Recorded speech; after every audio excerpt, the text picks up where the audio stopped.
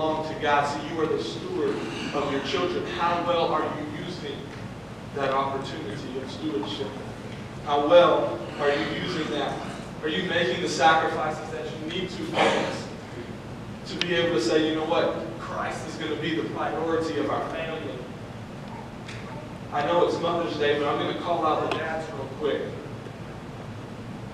How are you leading your family spiritually?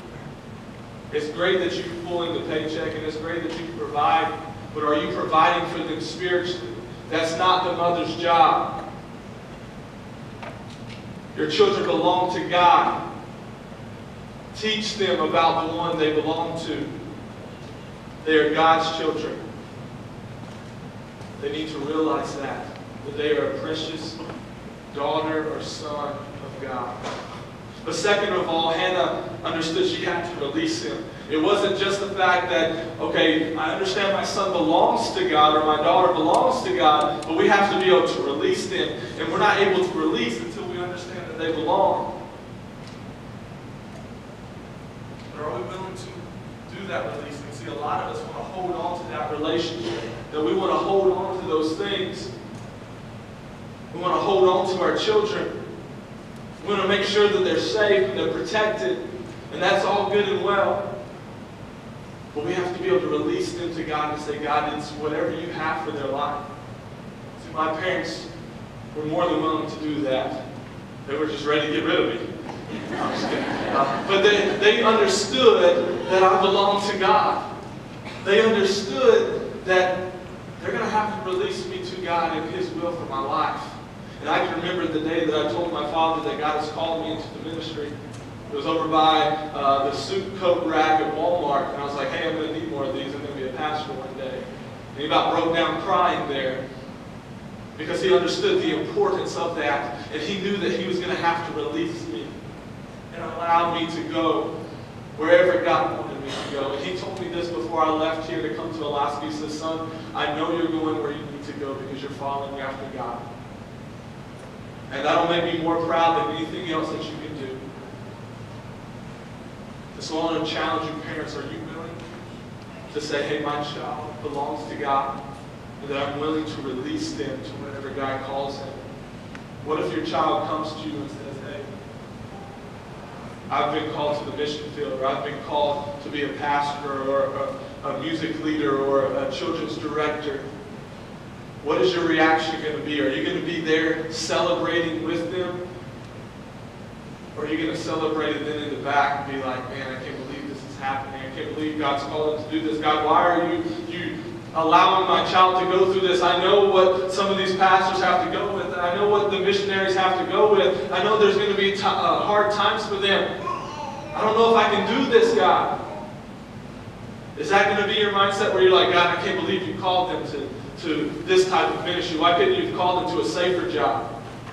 But see, we need to understand what it says in Psalms 127, verse 3 and 4. It says, Behold, children are a heritage from the Lord, the fruit of the womb a reward.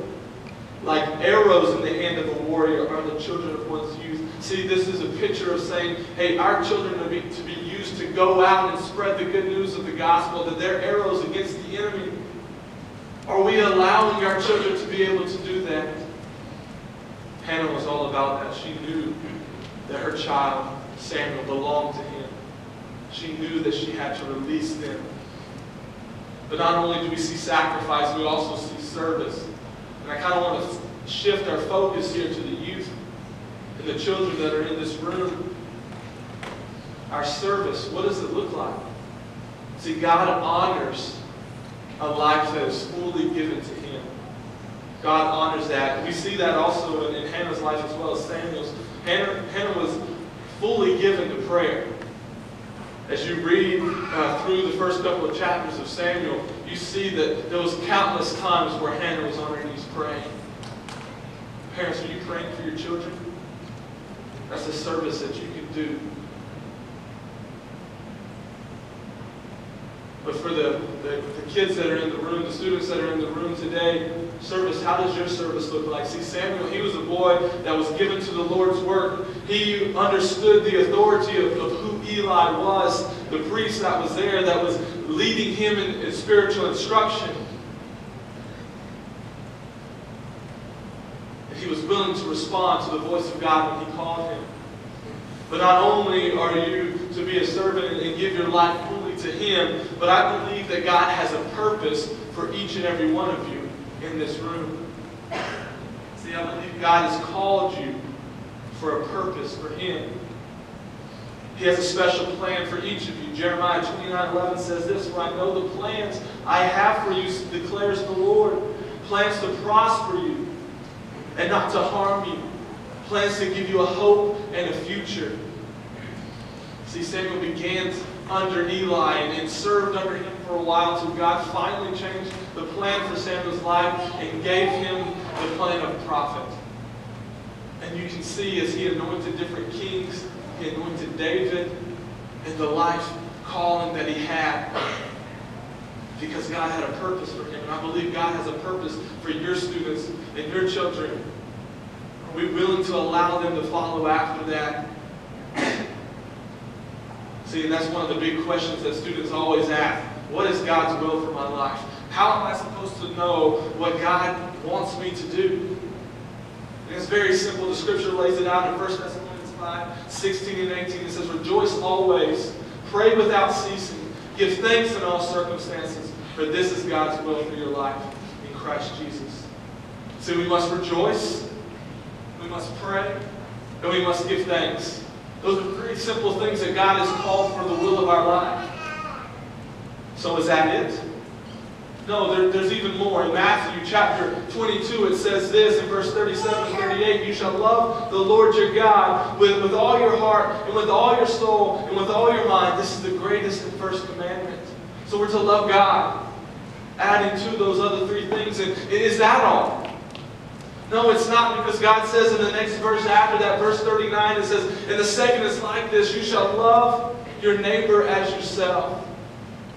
So rejoice, pray, give thanks, love God, and love others. See, that's what we want for our children. That is the desire that I have for my daughter, that she would follow after God's will for her life and whatever He calls. That I'm willing and able to say, God, she's your child. Are you willing to do the same thing? See, this morning it all boils down to two words sacrifice and service. As I hand this back over to Pastor Brad to close us out, I just want to encourage the students here today. I'm for you, your parents are for you, and God is for you. And He has great plans for your future.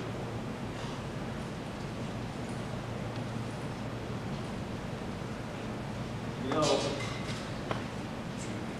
sacrifice and service really sums things up. I have a former student who is in ministry um, probably 2,000 miles or more from where his family lives. It was they were willing to release him. I have a former uh, volleyball player uh, that I coached who is in New Guinea right now as a missionary. I have a former wrestler, he's a state champion wrestler for me in high school, walked away from a career in finance and, and, a good income, he's a missionary in Africa today. I have a good friend who, uh, who got called to the mission field when she was a, a young teenager, but God didn't call her husband.